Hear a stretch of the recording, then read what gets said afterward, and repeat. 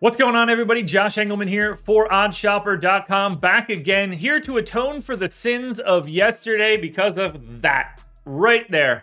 Not good.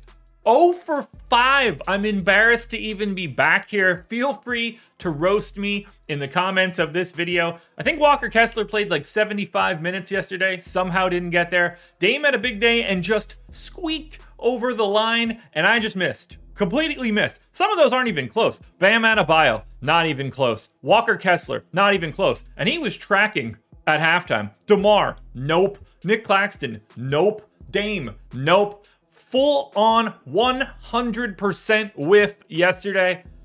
I'm not going to crawl into a hole here. We're back. We got to do it again. We're here with five more picks for today. It's going to happen. 60% picks still gets you an 0 for 5 one out of every 100 times you do this. So we're just going to assume that this is the one in the 100.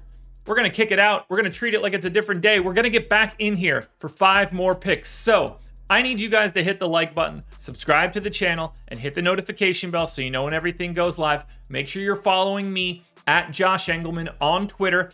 We're going to have more prize picks entries later today for sure. I know I'm going to have another card. There's a lot of Q tags out there. It's a five game slate it's a, we're relatively limited with choices to start the day. It is 8:01 a.m. Eastern Time. We're going to have more, so make sure you're following me. But for now, these are my top five plays on prize picks for Tuesday, February 14th. Maybe we'll get a little Valentine's Day luck here.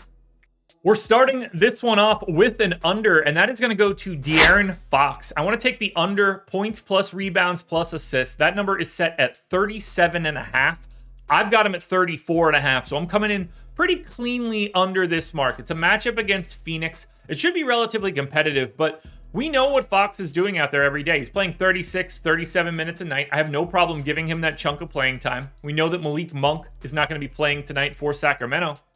But ultimately, I just think it's the, the line is just a little lofty for Fox. If you get that kind of day, that's a pretty big fantasy score just in general. I, I think he's just being looked at a little bit heavier here. And there's nothing to stop this from being just a Sabonis day. He's got to beat out his own teammate first and foremost before he's running the show here. So I think that Fox can have a decent day, but 37 and a half, like that's that's a pretty big number here for Fox, and I just don't really see it. I think it's the scoring that is mostly outpaced here because I'm two and a half points under on his points. I'm neutral on his assists. I'm neutral on his rebounds. I wanted to give myself a little bit of extra wiggle room, but if you prefer to take the points prop, I totally get that. But for now, I'm going points, rebounds, and assists under 37 for De'Aaron Fox.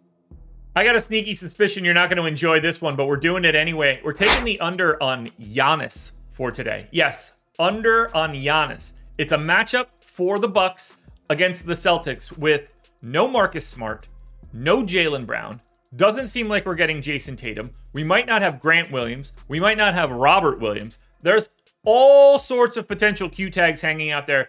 This must just this might be just like a total beatdown by the Bucks, and I kind of like that here. I feel like it's limiting the amount of minutes that Giannis can play tonight. I don't really see him getting up.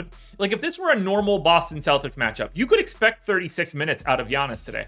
I think that would be impossible. So for right now, his points, rebounds, and assists is at 51 and a half. I got him at 49 and a half, which means if you think about this right now, he can go for 31 points, 10 rebounds, and 10 assists. He can have a 31, 10, and 10 triple double today and not hit the mark. And that's where I think he's just going to have a lot of trouble just squeezing everything out of it for today. They don't need Giannis to take over a Celtics game when all of the best players aren't playing. And it's potentially even more as we get closer to lock. So I feel pretty good here. Can Giannis smash in limited, limited minutes? Absolutely. We've seen it time and time again. He's incredible. But for today, I think that line is just a little too high. So we're taking another under. This one's a weird one, but I kind of like it. One more under. That's going to be Fred Van VanVleet's made free throws. The line is set at four and a half. I got him projected for four, so we're coming in under that one. And uh, look, uh, there's only so much reasoning you could have for a free throws prop, but I do think this one stands out. Orlando, not a huge foul team. They're dead middle of the pack in the NBA in committing fouls.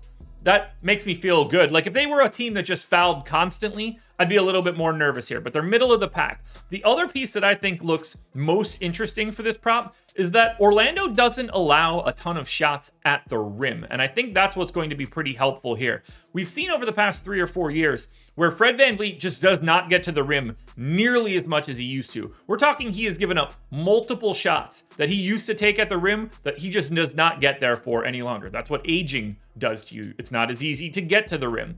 The less you get to the rim, the less you're going to get fouled and get shot attempts. That is where I think it's interesting. So the Orlando Magic are eighth in terms of shots allowed at the rim, eighth best, that is, for them. So I think the opportunities are going to be a little bit few and far between for Fred VanVleet here in this spot. So I'm willing to take the chance. If this line was set at four, it wouldn't be that interesting. But the fact that you get that hook is incredibly helpful here. So we just got to keep Fred VanVleet off the line for today. That works for me. Maybe we'll get lucky. Gary Trent will play, and there'll be even less opportunities for Fred VanVleet. But for now, under four and a half free throws made for Fred Van VanVleet is on the card. Got another one here, but we're going over this time. Finally, something positive to cheer for. DeAndre Ayton over points and rebounds. That line is set at 30 and a half. I've got him at 32.9. I love taking guys against the Sacramento Kings if you're looking to add offensive stats. The Kings defense is not very good, and that is a benefit to me. And I think it's with no Bridges, now, no Cam Johnson. There's some additional opportunities to go around for Ayton. And we've got Booker back. He's still a little limited. I just think that we're going to see more out of DeAndre Ayton here. And you're not going to get many game scripts better than taking on the Sacramento Kings. Now, getting rebounds against Domantas Sabonis isn't the biggest treat in the world, but I do like his opportunity for scoring. And I just think that he's going to have to do a little bit more moving forward. So the line is set at 30 and a half. I got 32-9. I'm mostly over on Ayton from a rebounding perspective. If you just want to take the over 10 and a half boards, I think that would be totally fine as well. I think the points prop looks pretty reasonable, but I like giving myself a little bit more wiggle room. That's why I'm heading to points plus rebounds. So give me DeAndre Ayton over 30 and a half. Now, guys, if we just ignore yesterday's performance, what I really want you to do is tail these picks on prize picks using the link in the description if you haven't signed up there yet. Click it, head on over, make a deposit. You're going to get up to $100 on that first deposit. Great deal there. If you put in 50, you'll get 50. I recommend you put in 100 and get 100. You also get one month of our Stokastic Plus Platinum package at stokastic.com.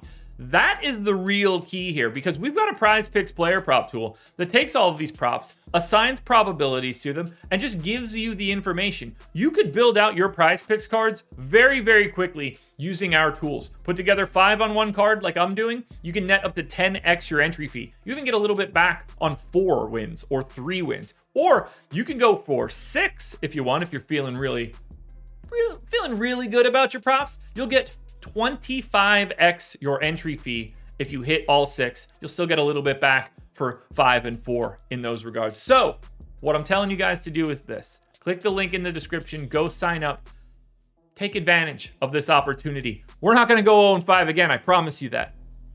We're going back to the free throw line for this final prop, but this time we're taking an over. It's 0.5 free throws made for Kevin Huerter. I got him at 1.2, so right away, we're expecting this one. Kevin Huerter is making 1.4 free throws per game this season. He takes 1.9. He used to be like an 80% free throw shooter. This year he's at 71% or something like that. But either way, he's making significantly over one free throw attempt or one free throw made per game. I like that straight away. But the bigger piece here for me is that Malik Monk is not playing this game. Malik Monk is usually the guy that creates this opportunity where Kevin Huerter might not close a game. By taking out one guy from the rotation, they don't appear to be replacing him with anybody. So I think Kevin Huerter's likelihood of closing is significantly higher now than it normally is. I think he's live for 30 to 34 minutes today instead of having this opportunity where he might only play 24. I love this prop. 0.5. He can make a free throw in the first minute of this game, and you've already won it. It's that simple. Maybe he gets fouled on a three point attempt. If he doesn't make one of those three free throws, I'll never do this video again. How's that? The easiest one. This is the one you want to get to no matter what. And don't forget, Today's Tuesday, which means it's Taco Tuesday, which means there are going to be props that get put up on prize picks that are basically no brainers. So if you want to wait it out on one of these that you don't like, take advantage of the taco when it shows up, but don't leave this Kevin Huerter prop off. This is the best one that you can get. Alrighty, folks, the card is placed. You can see it right here. Under on Fox, under on Giannis, under on Van Vleet. We're taking the free throw with Huerter, and we're going over for DeAndre Ayton. The five picks are in. Don't forget about the taco. You'll get another card from me, or at least something resembling five more picks from me later today once that first one drops. But good luck tonight. Like, subscribe, notification bell, follow me on Twitter. Sign up at Stokastic. Check out Odds Shopper. I'm hitting it all. Good luck tonight, guys. We're going to do better tonight. I promise you that.